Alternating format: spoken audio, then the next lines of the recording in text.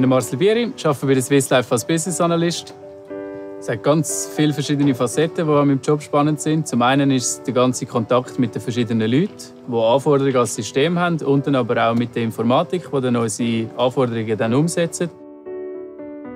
Ich spiele Fußball seit, äh, seit ich eigentlich ein kleiner Bub bin, seit ich fünf bin und ja, gehe jedes, jedes Training motiviert von vorne an.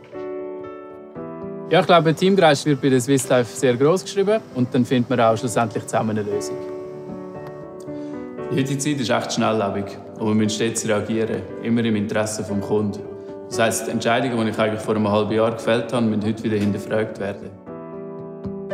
Und das ist aber auch die Herausforderung, die wir in unserem Job haben und was Spass macht, um diese Herausforderungen auch sportlich anzugehen.